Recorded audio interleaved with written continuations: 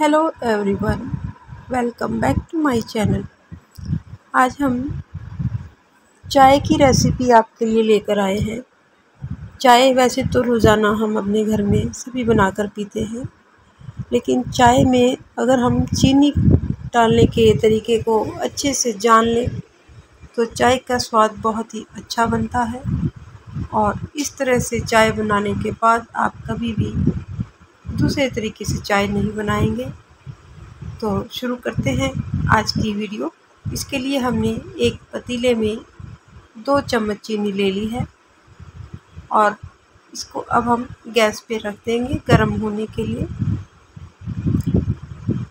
चीनी थोड़ी थोड़ी मेल्ट होनी शुरू हो जाएगी। इसको बीच से हिला लेंगे ताकि चीनी जले ना। इस तरह से चीनी को कैरमलाइज करके हम चाय के स्वाद को दोगुना बना सकते हैं। अब ये देखिए हमारी चीनी मेल्ट होनी शुरू हो गई है। आँच को धीमा ही रखेंगे। धीमी आँच पर इसको पूरी तरह से पिघलने तक चीनी को हम पकाएँगे और इसका कलर हल्का सा ब्राउन होने तक रखेंगे। अभी इसका कलर ब्राउन हो गया है। थोड़ा सा पानी हम इसमें डाल देंगे। मैं यहाँ पर एक कप चाय बना रही हूँ। आप अपने अनुसार जितनी चाय बनानी हो, उसके हिसाब से पानी डाल सकते हैं। और अब हमने थोड़ा सा पानी इसमें और डाल दिया है, यानी एक कप मैंने पूरा पानी इसमें डाल दिया है। और अब हम थोड़ी सी अदरक, एक छोटी इलायची और थोड़ा सा सौंफ को लेकर के कूट लेंगे। कूटने से मसालों का पूरा स्वाद बाहर निकल आता है और इसको हम इस पानी में डालेंगे और साथ में डालेंगे चाय की पत्ती और चीनी आपको थोड़ी और डालनी होगी। बाद में जितनी आपको डालनी हो, अपने स्वाद के अनुसार डाल सकते हैं।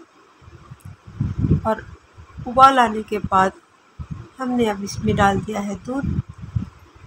दूध डालने के बाद हम इसको तीन चार मिनट तक चाय को पकाएँगे।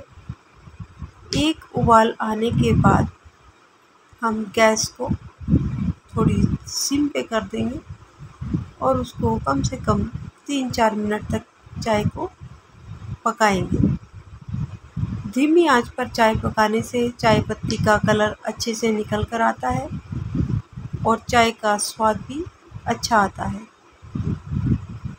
इस तरह से हम चाय को हिला हिला के या किसी कटोरी से ऊपर नीचे ऐसे हिला हिला के चाय को पका लेंगे।